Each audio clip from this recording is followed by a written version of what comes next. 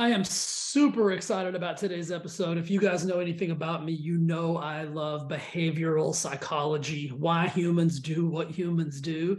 And my guest today is Dr. Heather McKee. She is a behavioral change psychologist who specializes in helping people make new habits stick. She's got over 10 years of research under her belt. She is phenomenal. You guys are going to be blown away. And we're going to give you some tactical strategies and tools that you can use to help make all of your new habits, all of those powerful, positive, abundance level habits stick so that you don't have to stay on that roller coaster. All right, enjoy the show. Heather, thank you for joining the podcast today, all the way from Dublin, Ireland. You, I think you're my first Irish uh, guest, so welcome. Amazing. Well, it's an honor to be here. Yeah, I love it. I actually have some clients that actually live in Ireland, and then I've got no some local clients here in California that are actually from Ireland. So, um, I think it's probably very kismic that we're on the we're on the the chat today. Yeah. Oh no, it's lovely to be able to. Uh um, you know, reach to large audience as well for you. Um, you know, I know that you do across all across the world, so I'm excited to be here. Yeah, and if my audience knows that I am a I'm fascinated by clinical psychology and human behavior and why humans do what they do. Before we jump into that, um, I've you know I've already told everybody in the intro that you are a behavioral change psychologist. Is that kind of your is that your specialty? Would you say? Um, yeah, health behavior change. Yeah. Health behavior change. I love that because mm. you're listening to my show, you're all about making some, and even me, I'm interested in making like healthy behavioral changes. How'd you get here? Like, how's your, what's the story? Like, how did, how did you find this path in life? Yeah, great question. Um, not in a straight line, which is normal.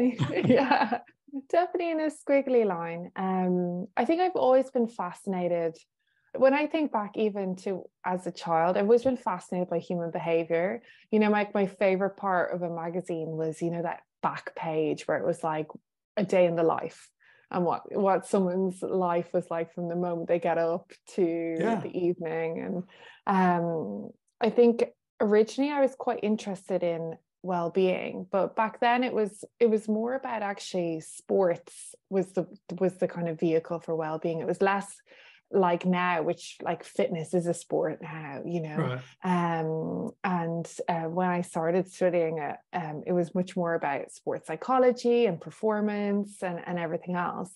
And then over the years um things have shifted and and, and my studies then shifted um alongside that. But what really kind of got me excited and i think it's quite a similar um kind of purpose as, as, as you have james was uh, i was working in a metabolic syndrome clinic. So it was a clinic for people with diabetes and heart disease and um, various different um, elements of metabolic syndrome. And we had the most amazing trainers, we had the most perfect nutritional plans, but no one seemed to be able to be doing that well and and and you know and it baffled me coming from this background where I'd studied nutrition I'd studied exercise and sports science and I was like I don't understand. Like you have everything here. You know why aren't things happening?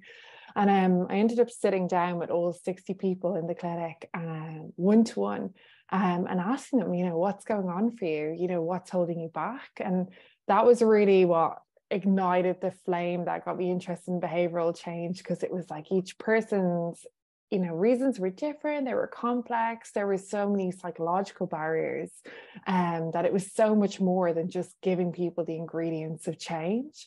Um, and yeah that's what got me really excited and then i went on to study um, you know the psychology of weight loss how do we lose weight without dieting how do we use psychology um, and harness it as a skill for change um, and yeah i was just fascinated ever since that is awesome. I mean, yeah, I would be so intrigued by that as well. I mean, just the opportunity because I, you know, I shared with you before we started a very kind of a similar experience. I was, you know, and I always tell people like, we don't need another diet, right? We don't need another nutrition plan. We don't need another like fitness program. Like, there's no perfect any of that. Mm-hmm. And and in today's world, like you can literally fall down and land on, like you said, the perfect nutrition or the perfect trainer or the perfect all that but unless you couple that with psychology, mindset, and, and work through all of those things, you're going to end up back where you started. Like I always find this, and you tell me with your with your clinical and your, your vast experience,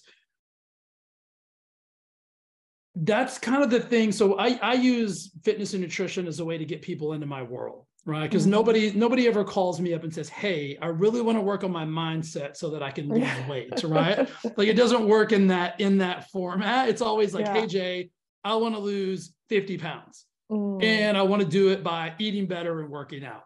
They never, you know, they never add the mindset piece to that, right? So whenever you were listening to these 60 people kind of give it to you like was it just like this aha moment like how can you give me like a, a, like was there one specific story or moment that stood out to you like a slap in the face? That is so interesting. What a great question. Um well as you're speaking though two thoughts came up before i answer that which was you know and something that you say a lot and i and i've seen in in previous podcasts of yours and and, and publications and pieces about you know like how many of us don't know we need to eat more vegetables or sleep more or drink right. more water or move more or manage our stress you know and, and and and yet we we seek out these things when we're looking to lose weight. We're thinking okay well i just need that perfect nutrition plan or that perfect exercise plan. But it's not information that we're lacking it's implementation that we're lacking. Absolutely and, and and that's where the gap is and i call it or they call it in psychology the intention action gap. It's like we have all the best intentions in the world but it's taking action where we get held up. And and that's certainly what i saw in those um in those people. You know it's it's not information it's implementation that's missing. Um and and, and you know they knew what to do. It was just that something was holding them back. And and when we kind of was were able to unlock that something that was when the pieces of the puzzle fell into place. Yeah. And each person had their something, you know, maybe it happened to be, you know, um, a childhood trauma or maybe it happened to be a partner that wasn't supportive of change or maybe it happened to be that you know they were in a job that they didn't love and they had a really tough boss and they're finding that really difficult um, and often you know it's quite interesting it wasn't really anything that you think would be directly related to the weight loss yeah. um, but yet it was something that was hanging around in their non-conscious brain that they just had it was unresolved um, you know, for a lot of people, it was a confidence issue. Um, for the people, it might have been something that happened, you know, that's a comment someone had made just once. And, um, you know, once we started to talk about it, once we kind of started to unravel those layers, there was always something for each person. Um, and that's what I found fascinating because it's almost like you have to be a bit of a behavioral detective yeah. you know you've got to like look for what all the clues are and you know um interview people in a way that actually promotes and supports um, that curiosity and understanding and then you know shine the light for them on that evidence and help them see you know a way through it yeah i totally agree i think you know that being the detective portion of that is so crucial because it's like i said nobody wants to show up and tell you about a trauma or yeah. or, or a, a, lack of confidence or any of those mm. things and you you hit the nail on the head like we are all the way. I always I make the joke like, all right, I'm going to give you a quiz, and if you get all the answers right, you get a million dollars. Right? Everybody would get the million dollars if if it was like a basic nutrition quiz or should I go work out or should I sit on the couch? Should I eat mm. donuts or should I have a salad? Like we don't need you're perfectly you said that perfectly. Like we don't need more information. It's it's the the gap in the middle that we need to get bridged. But people don't show mm. up and say hey, I've got this situation or this trauma or this lack of belief. Mm. And therefore that's what's causing me to be overweight or need to need to lose weight. Yeah. They show up with the really the superficial stuff because the other stuff is so challenging to talk about. Mm. Can you, in your experience, like have you noticed that as well? Like the first thing that they present to you is not usually the thing that needs the most help. It's like yeah. you have to kind of dig. And the interesting thing is actually that you talk about that. I think people themselves don't really realize what their true motivation is. Yeah. And so, you know, a lot of people will say, oh, well, my motivation is to lose X amount of weight. That's right. not a motivation, that's an outcome. Right. That's a number. Um, and so often, like, and I'm sure you see this all the time when it comes to creating any change in our life, we always focus on the numbers. So like the number on our paycheck, the number on the scales, the number we're able to lift on the gym. Right. And and that can only motivate us short term. And in psychology, it's known as extrinsic motivation. And I call it slippy motivation because it's very hard to hang on to. Yeah. And if that's your sole motivator, that's only going to last for a couple of weeks. And that tends to be why a lot of people after that six to eight week mark tend to fall off the wagon and they go back to you know the baseline or even you know often you know worse than they were before um, and what I often try and do with people at the very, very start, and um, you know, you, you probably heard a quote on this Simon Sinek, which says, "Start with why." Yeah. Start with why does it matter to you? Why is it important to you to create this change in your life? And and what that does is it invokes intrinsic motivation, which is sticky motivation. And intrinsic is a beautiful word, Jay. It um, translates into Latin into inward or goods for the soul. Mm. And I hmm. absolutely love that word because it's all about like, you know, so often we come to lifestyle changes doing it for someone else, doing it for our doctor, doing it for our spouse, doing it for our kids, doing it for our grandchildren, whoever else. We stop if we stop for a second and ask ourselves, is that our true motivation? Is that going to keep us going in the trenches? Ultimately, all the research from psychology shows us no. Right. If we're doing it for external, extrinsic reasons like numbers or someone else, or for performance or appearance, or all of the likes on social media, that's only going to last short term. What we need to do is we need to really unlock our why and unlock what the true intrinsic drivers are. And one way to do that is to ask yourself a very simple question is why is it important for me to make this change? And keep asking yourself why. So right. someone might say okay my goal is to walk 10k 10,000 steps on my fitness tracker each day. And you could say but why? Because right. i want to feel fitter but why? Because i want to feel more confident in myself but why because it's important for me um, to feel confident in my life because then I can apply myself more in my work, or I can be a better role model as a parent, or I can better represent my community. And if you keep asking yourself, you can do this with yourself. You ask yourself why enough, yeah. you often get to that core, that true, that intrinsic why. And that is a beautiful, beautiful thing to unlock because when you find your why, you can find your way. And that's really, really important in terms of creating those lifelong sustainable changes.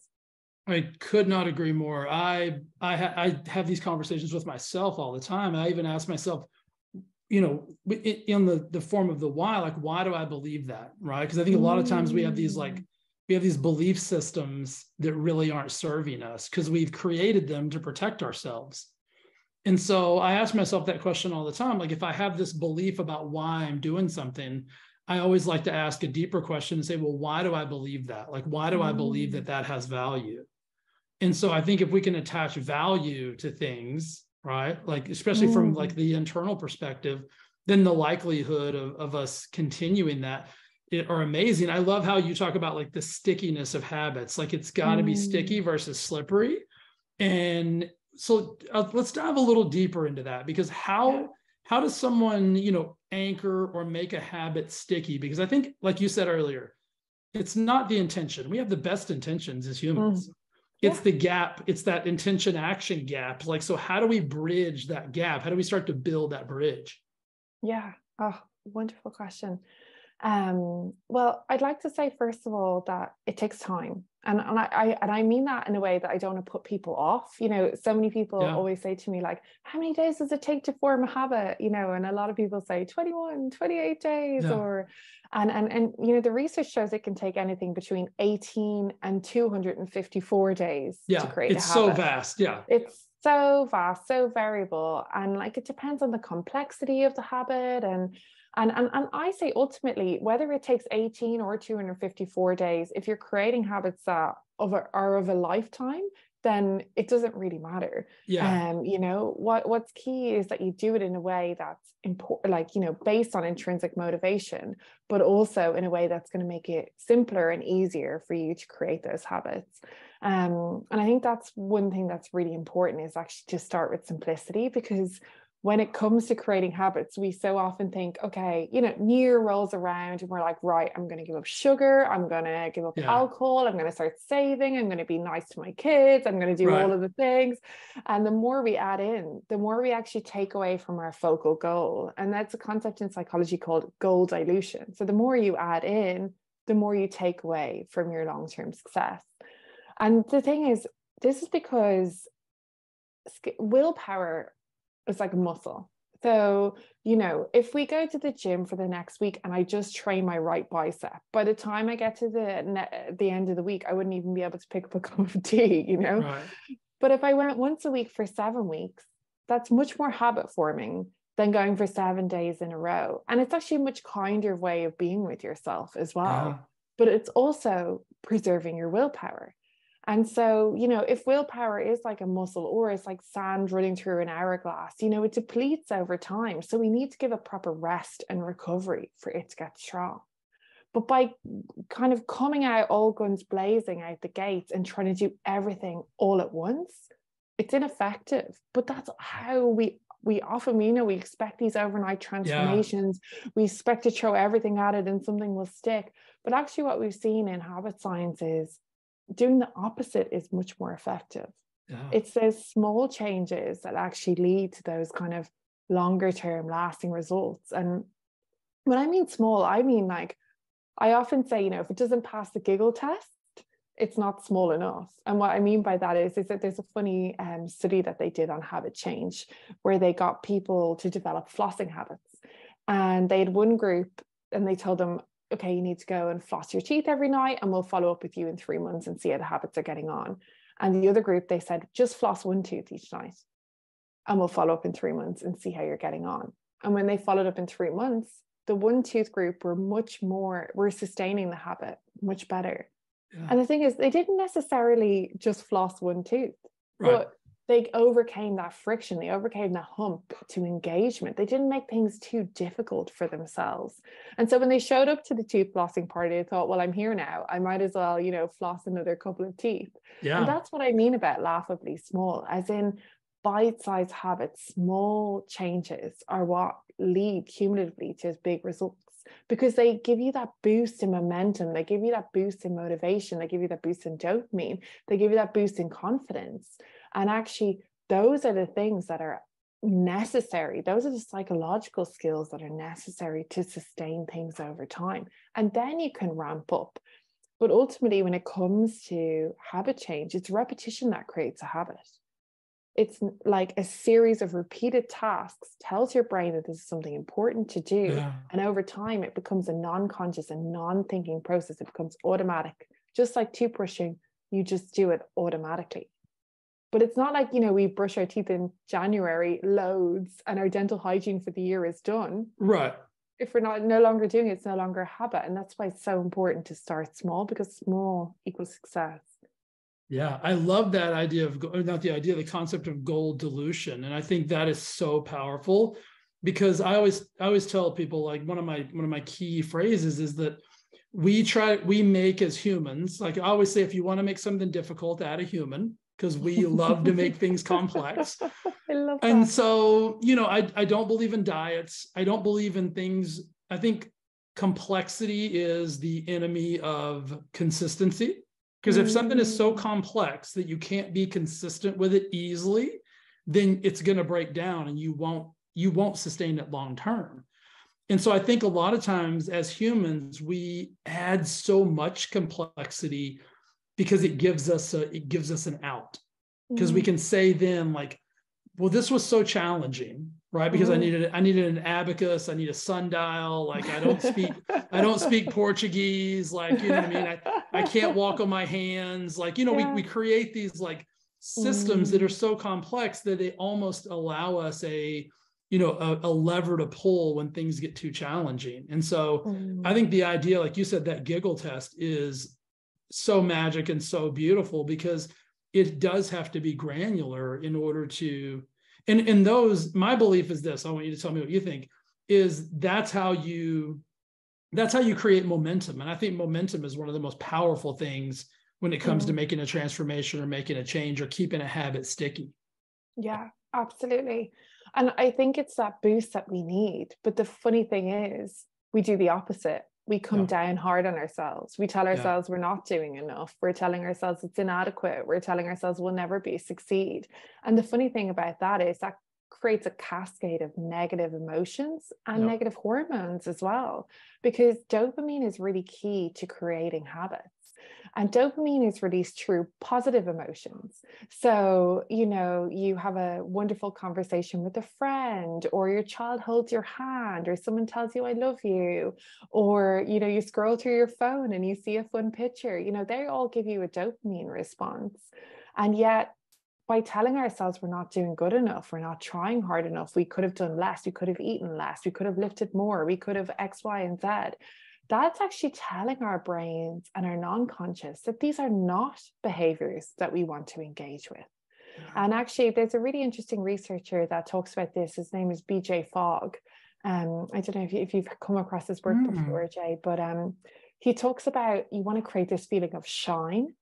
And shine is that feeling that you get, like that positive feeling you get. You know, when your team scores in the final minute to win the league, or you get that amazing like amazing car parking space in, in, in the last one that's available right in the store or you know any of those positive things that happen to you you know when you get that positive feeling um you know you lean over and you know see your pet at the end of the day or whatever that creates that positive feeling what we want to do is create that feeling when we're creating our habits. And what that does is actually fast tracks our habit success because it's not magic, it's neurochemical because we release that do- dopamine hormone. And the dopamine hormone that's released when positive feelings are experienced is a learning hormone. And it tells your brain, let's do this again. This is a good thing to do. So, say your habit is to drink more glasses of water. If when you're starting out with your habit, every time you drink a glass of water, you congratulate yourself in some mm. way to create that feeling of shine. So you tell yourself, you know, I'm someone who consistently follows through on my goals, or you draw a smiley face on your to do list, or you do a drum roll on your desk, or whatever it is, you know, hear trumpets in your head, or sing a like a happy song, or whatever it happens to be. If you can just reward yourself and create a good feeling within yourself, it trains your brain to be on the lookout for those good feelings. It trains your brain to actually say, let's engage in this again and again. So it's counter to what we think is going to help us, which is what we we think whipping ourselves into shape is going to be what we need to do. And actually, that's not effective when it comes to long-term change. It's encouragement, it's celebration, it's creating these positive feelings around the habits that we're trying to create. And that's why intrinsic motivation is so important as well. That's what actually leads to long-term success. I love that. In my in my one of my private coaching groups, we have the one of our mantras is we celebrate everything.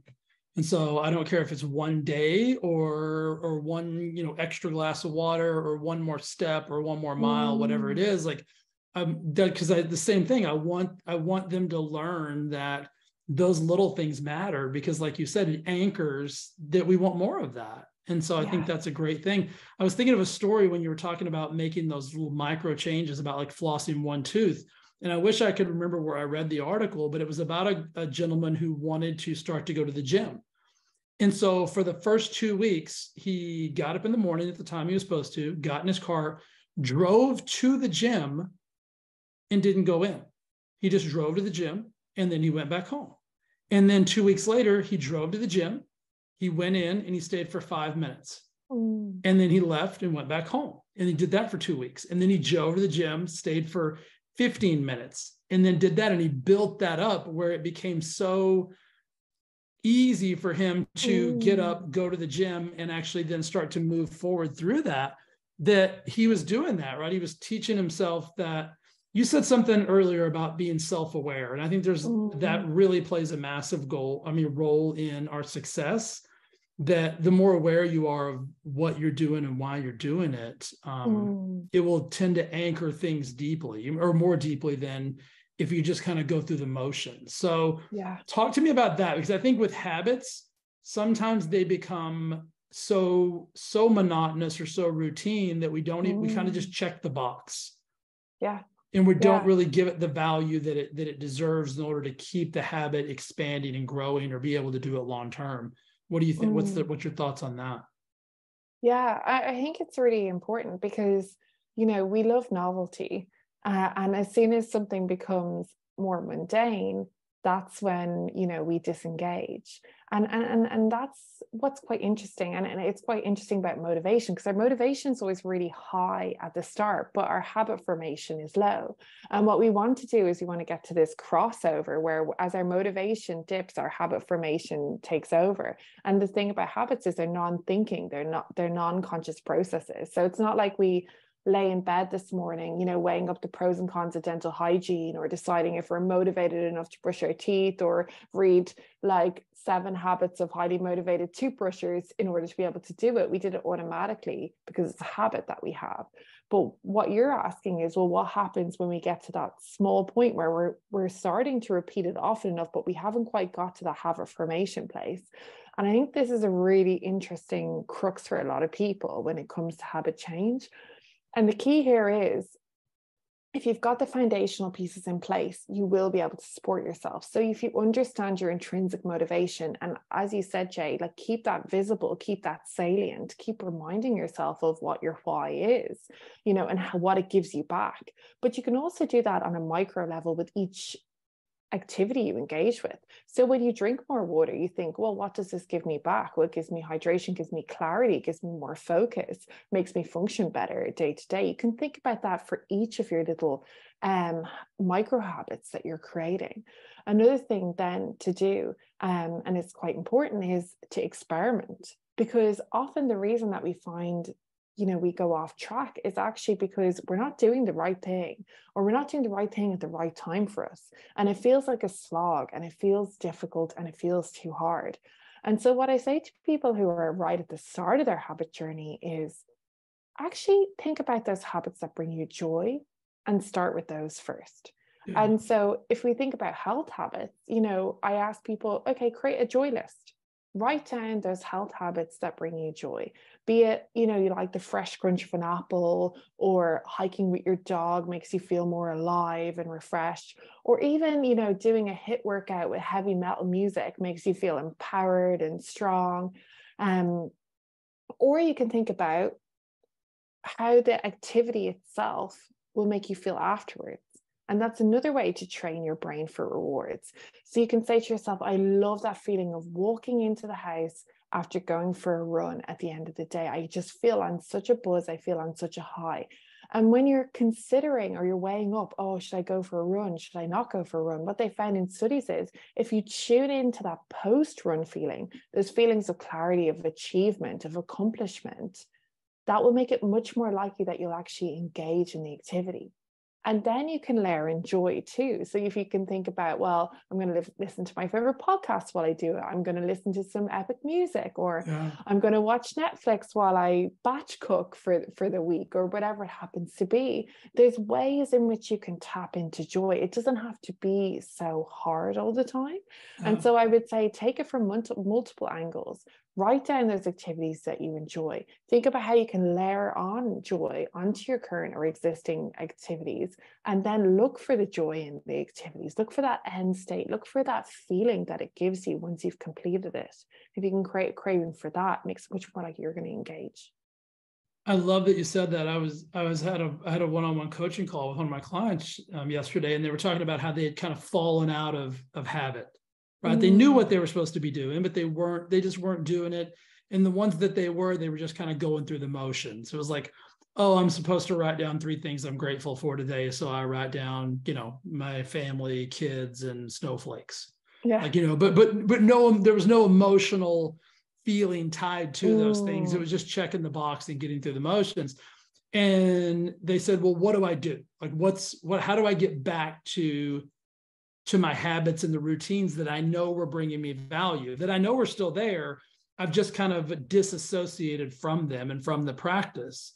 And I said, I, my suggestion would be to start with those things that make you feel like you want to do more. Mm-hmm. Like, don't start with the things that feel too big and too complex and too overwhelming. do the smallest, most micro thing that gives you enough joy and enough happiness that you want to do it again tomorrow. Mm. And then that mm. will allow you to start stacking things upon that. So I, I love the way you articulated that way better than I did. Um, but that that's no, I, and I think what you say speaks to um, I think it's James Clear that talks about this as well, like cornerstone habits or keystone habits. Yeah that there's one habit that can often unlock another habit. Yeah. So for example, like, and I'm sure you, you know, you'd be a big advocate of this, like sleep is one of those things. You know, when we get good sleep, our hormones are regulated better. Yeah. So we're actually less hungry. Our motivation is regulated better. So we're more likely to engage in our healthier habits.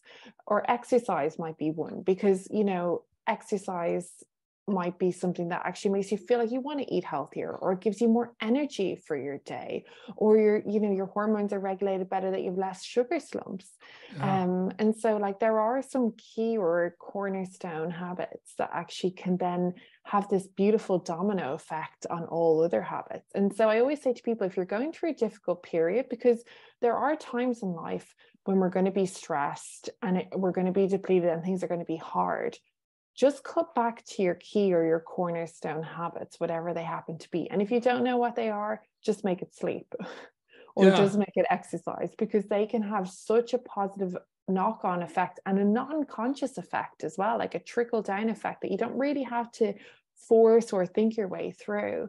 Um, if you just go back to those basics at those times, that can still help you maintain your health no matter what's going on in your life. I love that.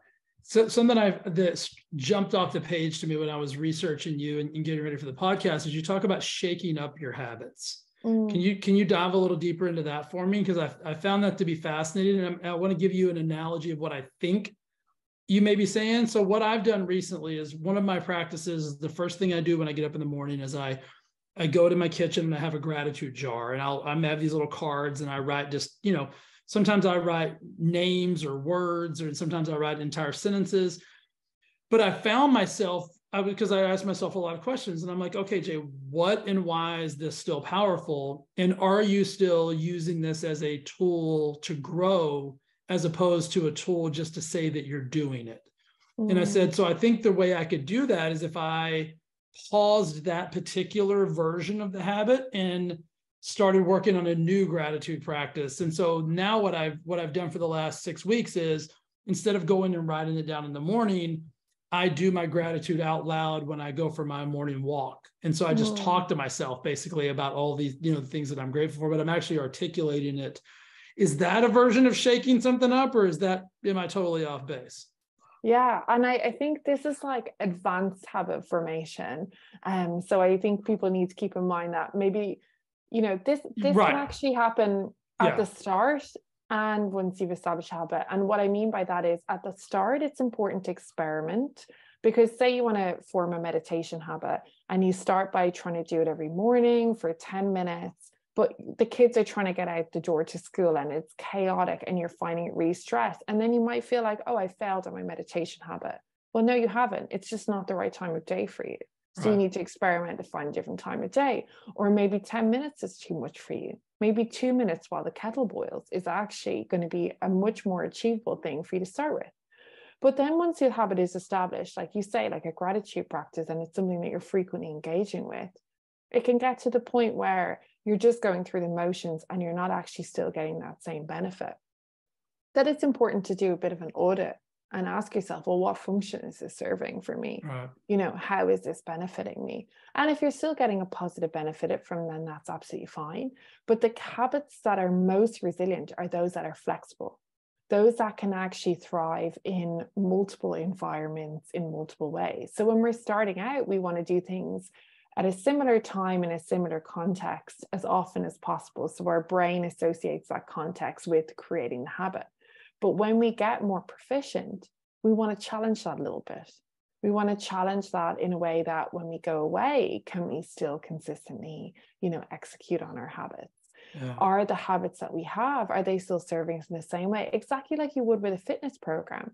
After six weeks, you'd reevaluate. You'd say, Am I still getting the same benefits from here? Am I still getting the strength, same strength gains? Okay, maybe I need to cross train a little bit maybe I need to add a bit more variety. And this is where people tend to actually fall down quite often. And it's something that actually you need to think about before you get to that six or eight week mark is what can I bring in that's new or novel? Or how can I redo this in a different way? And what yeah. I mean by that is, you know, if you started a running practice and you know it's it's it's going well enough and you're really enjoying it then that's absolutely fine but if you're starting to find it mundane can you take a different route can you go running with a friend? How can you do this in a different way but it keeps it interesting keeps it consistent? It's the same with eating. You know so many people go and they buy you know the most boring foods when they're starting out on a health kick and then right. six weeks 12 weeks in they find that it gets a bit mundane it gets a bit boring. So you need to think about it those things now. You know how am i going to shake this up? What am i going to do that's new that's novel that's different? And then am i still getting the same benefit? So the funny thing is with fitness we we tend to be quite good at that we tend to assess you know especially with strength training and and those forms of fitness every kind of 12 weeks, three months, we tend to step back and assess. But we need to do the exact same thing with our other habits. Because if we're no longer challenging ourselves in a little way, we're no longer, exactly as you say, we're no longer learning, we're no longer growing, we're no longer strengthening that muscle. And it's fine to maintain. That's absolutely fine. But if you decide, well, I want to take this to the next level, I want to get more high performance habits, um, then you've got to literally, you've got to look at, well, maybe it's five gratitudes instead of three now. Or maybe yeah. it's actually thinking about it when I'm after just having an argument with my boss. Or maybe it's thinking about it at a time that's a little bit more difficult for me. And you're challenging your habits then, and you're actually creating those resilient and those flexible habits. I think what you said is so important. And, and the way to go about you know overcoming that is a, a thing in psychology we call implementation intentions. So it, it, it's basically if x happens then i will do y. So if for example your habit is to run and then it starts to rain for example instead of it being all or nothing and it's well if it's raining i'm not exercising you've got to ask yourself, well, what happens when it rains? Do I do a strength training for runners workout online? Yeah. Or do I call up a friend and say, let's go tomorrow at another time? You've got to have an alternative plan for when things get monotonous, when things get difficult, when you're in a time of stress. I always say, you know, if you can ask yourself, well, what would my most stressed out, depleted self do in this circumstance? And you can still follow through with the goal then that's a lasting habit. That's a habit that you've got for life. That's definitely a sticky habit. So it's important to think about these circumstances and ask yourself, what's an extra challenge I can have? But also, how can I do this in circumstances that are less than ideal? Because now I've established a habit. Let's test it a little bit. Let's try it out and really get it quite resilient, quite flexible. Yeah, I mean, you had me thinking so many thoughts when you were, you were going through that. That's uh, that's such a great way to articulate that. I find that I am really, my patterns are really strong. My habits are really strong.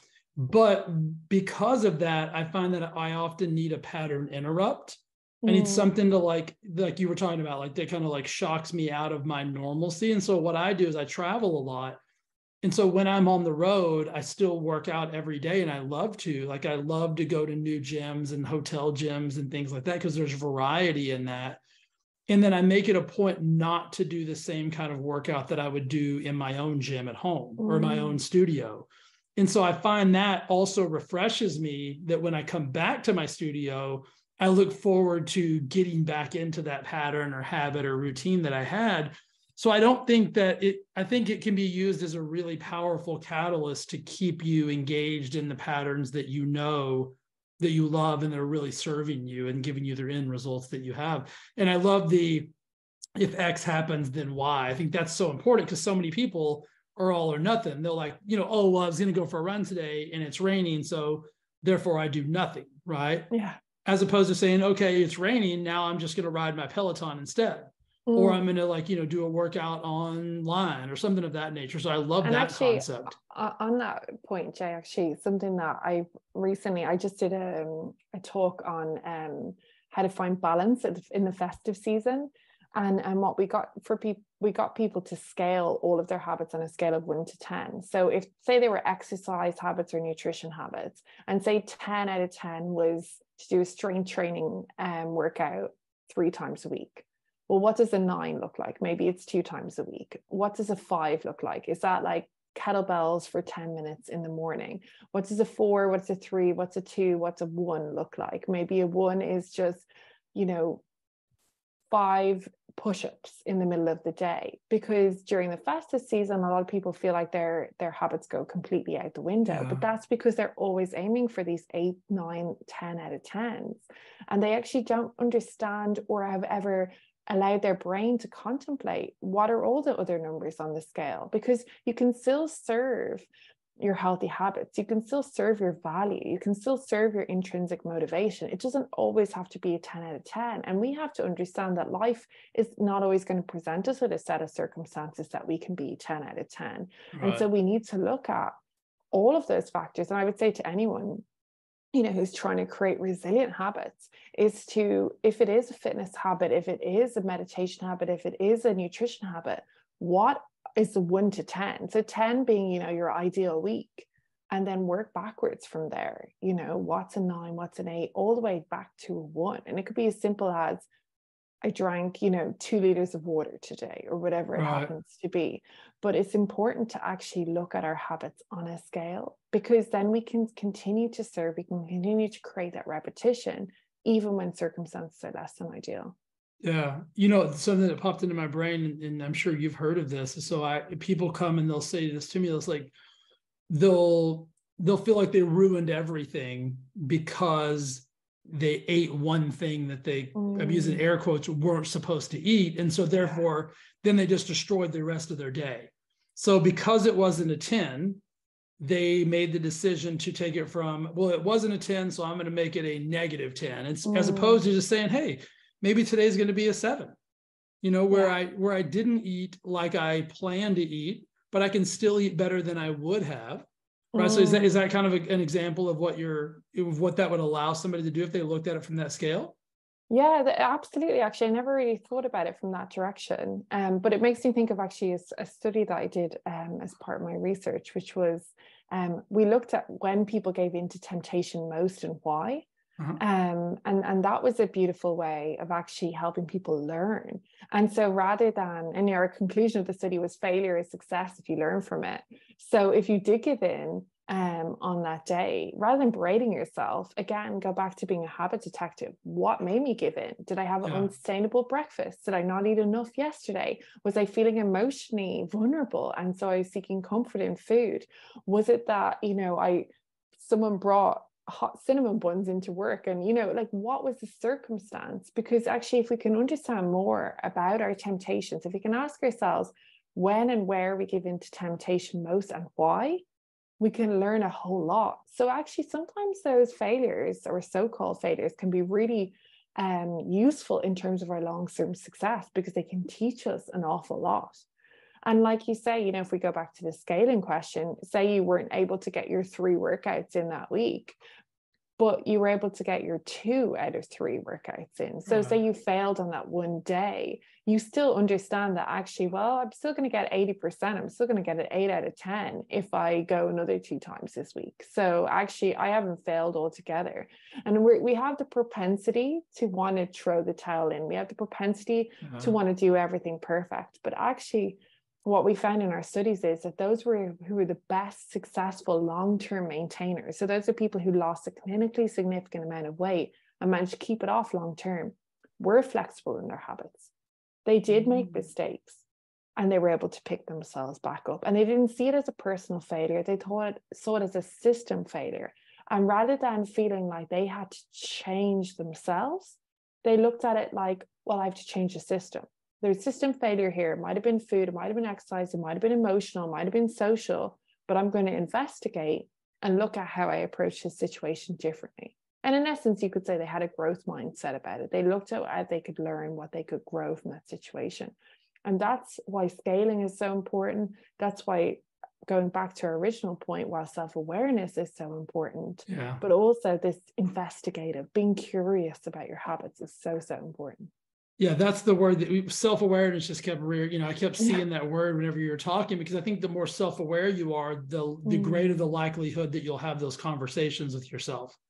And and I think it's important also to say this is there's no value in in being feeling guilty or beating yourself up or feeling ashamed if you aren't you know if you are scaling down that list right mm-hmm. that's i think that's what brings us the most the most problems is our mindset related to those because like you said if we don't yeah. quit we can't fail mm-hmm. and so just because we had a struggle or a challenge oftentimes we can use that struggle or challenge to actually propel us to be even better than we were before we had the struggle or the challenge 100% and actually those that were most successful long term that's exactly what they did yeah. they learned the ability to learn from their failures or their so-called failures and then they developed a failure resilience mindset where it just didn't define them anymore it didn't yeah. become them and that's a beautiful place to be and so, in a way, you almost want to get excited about when things slip off the perfection, yeah. um, you know, scale, because then you're learning something, and therefore you're improving. And then again, you know, habits are for life, not just for January. And so, you right. know, in order to improve anything, we've got to learn where the mistakes happen. We've got to learn where the failures happen. And um, there was an interesting study on this um, from University College London, where they found that um, those that were most successful at habit change they were those that were able to fail um, they they they tended to miss uh, an opportunity once or twice um, a week um, to you know be consistent on those habits at the start but the mo- ones that were most successful were the ones that were able to miss one or two but keep going and, and, and they were the ones that built this failure resilience so even if you were to focus on just one thing with your habit change it would be to actually see failures as ways to delve into what's it's going to take for your long-term success and actually yeah. be curious about them rather than let them do right because they're actually in a way they're kind of gifts in terms of an insight into what is it going to take for a long-term success? You know i started thinking about this oh gosh this was probably a few months ago and it was it was back to the the question of well jay how long is it going to take?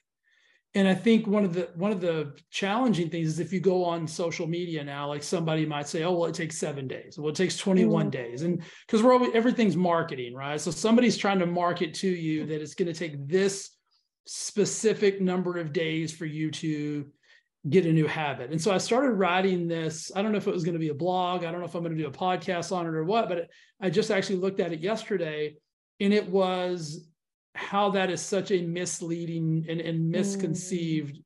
thing because I don't care if it if it does take and my philosophy is this if it matters to you then it doesn't matter how long it's going to take mm. because the value of, of achieving that habit or getting that habit and, and becoming resilient with it will far outweigh the time that it took to get there but I started thinking like I don't even if let's just say that it was 33 days or 66 days mm. or 200 days during those that time frame you, you said this earlier like i said how did you get to where you are and you said well it definitely wasn't a it wasn't linear it wasn't a straight yeah. line habits are i believe habits are the, i want to get your professional opinion on this i believe habits are the same way like on our on our journey of the development of a new habit there's going to be a lot of adversity and challenges mm-hmm. and in those days where we do fall down and, and and we have to get back up and so I think people think, well, then I have to start all over. And I don't believe that. I think it's it's the journey that that matters and it's not the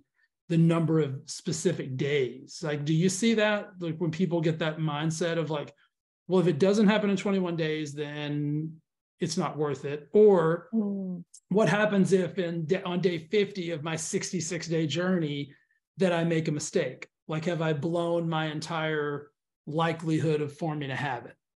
Yeah, and I think I think it's, it's something I hear so frequently, and it goes back to you know the pr- uh, principle that we talked about at the start of um, you know today's podcast, which was intrinsic motivation.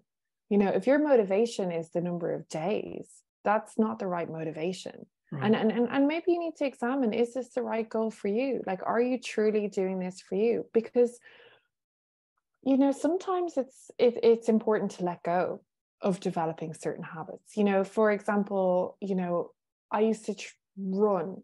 I used to try and run a lot. I didn't enjoy running. I did it. I'm good at forming habits. I know too much about behavior change. I can do it, but I don't enjoy it.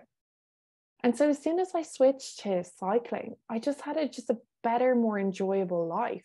And why did I think I needed to run? Because the media tells us that we need to run, or because it's difficult, I felt like I needed to run. Yeah. And I, I think it's important that people understand you know, it's okay to let go of certain healthy habits or striving for certain healthy habits if they're not the right habits for you. And that's why the joy list is so important because it's like, let's start with those habits that actually bring you joy.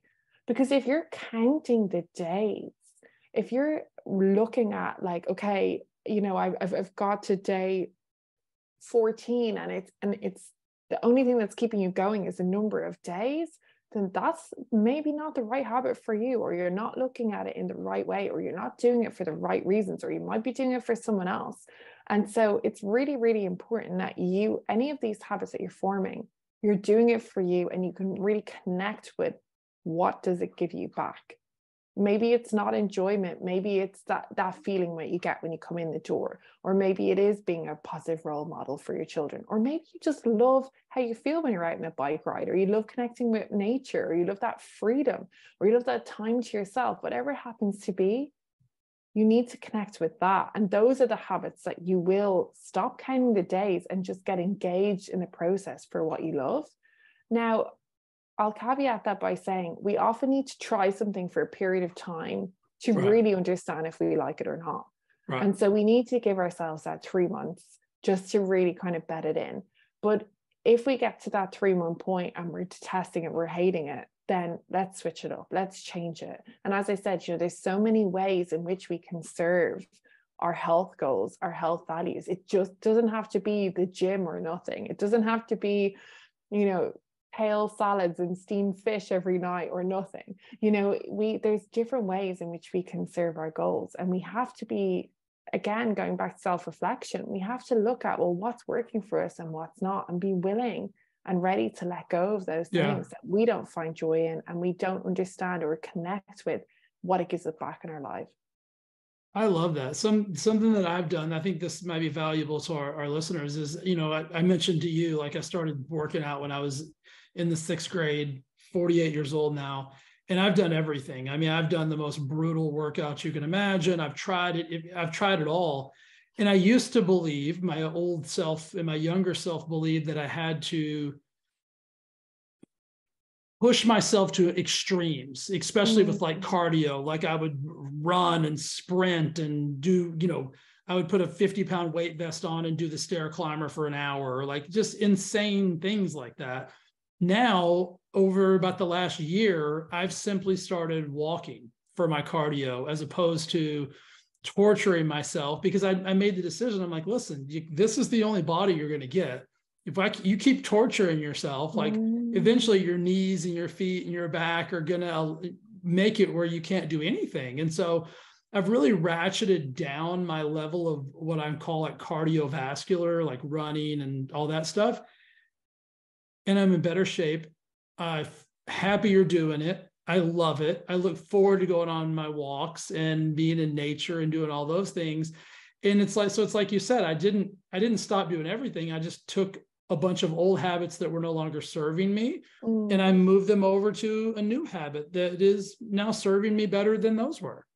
Yeah, and I love that. And I think that actually it sparks something else for me that's quite important, which is there's different stages of our life where different habits serve us better. Yeah. Um, and I think that's something that's quite important to understand. So, for example, like a new mother or father, you know, you might not be able to have the same sleep hygiene that you had before, although sleep is still always going to be primary. If you're striving to have sleep set up in a certain way at that time of your life, it's just going to be a stress for you. It's not going to be effective.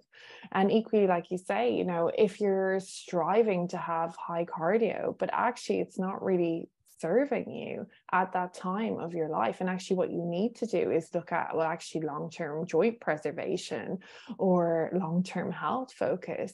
You know, it's it's it's important to have that ability to kind of step back and say, well, actually, at this stage of my life, this habit isn't serving me in the way that it, it did at another stage. Um, and and that's okay you know and, and i think it's very important to be able to have again the reflection and the yeah. self-reflection and again i suppose that's why people work with coaches like you jay you know because you provide because not you know it's not easy to be to self-reflect you know we have to yeah. get a good journaling practice we have to have a you know a good critical friend that we can talk to or we have to be really good at voice memoing ourselves and and, and you know reflecting over that or we work with a coach and that's what really speeds up that self-reflection muscle um, because they allow us to kind of helicopter out and see things clearly um, and it can really kind of fast track people's success. Um, but i do think you know with habits it is a process of iteration and experimentation. We need to let go of perfectionism and yeah. focus on experimenting and self-reflection and that's really the two key skills. And i say ultimately when it comes to habit change you want to focus on skill power not willpower. And if we can focus on those two skills I think that we can go a long way to creating those long term habits. I love that. Now I'm going to ask a completely unfair question because I feel like we you have given so much value and there's you've I mean you've already given so many nuggets that this is going to be completely unfair, but I'll, I'll do it anyway. um, what is it? Well, I mean it's it's not even that robust or, or that that intelligent of a question. Mm.